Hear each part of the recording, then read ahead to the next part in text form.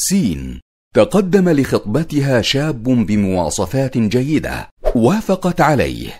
وتم تحديد موعد الخطبة. لكن لم يتم أي شيء رسمي. ثم تقدم لخطبتها شاب آخر هو أفضل منه في المواصفات. وشعرت تجاهه براحة أكثر. فهل تأثم إن هي وافقت على خطبة الثاني؟ دون الأول. جيم. أولا. فيما يتعلق بالخاطب الثاني فإنه لا يجوز لأحد أن يخطب على خطبة أخيه.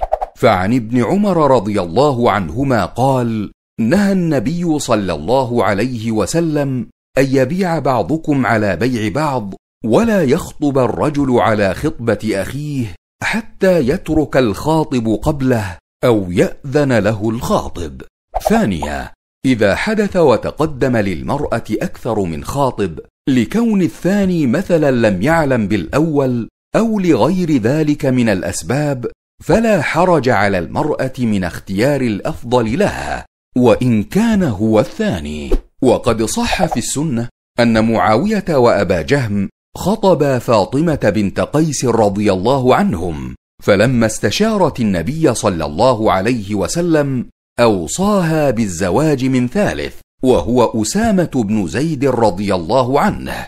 فقد روى مسلم عن فاطمة بنت قيس رضي الله عنها أنها جاءت رسول الله صلى الله عليه وسلم فذكرت له أن معاوية بن أبي سفيان وأبا جهم خطبان. فقال رسول الله صلى الله عليه وسلم أما أبو جهم فلا يضع عصاه عن عاتقه. وأما معاوية فصعلوك أي فقير لا مال له انكحي أسامة بن زيد فلا حرج عليك من قبول الثاني ورفض الأول على أن يكون الاختيار مبنيا على معايير شرعية والله أعلم.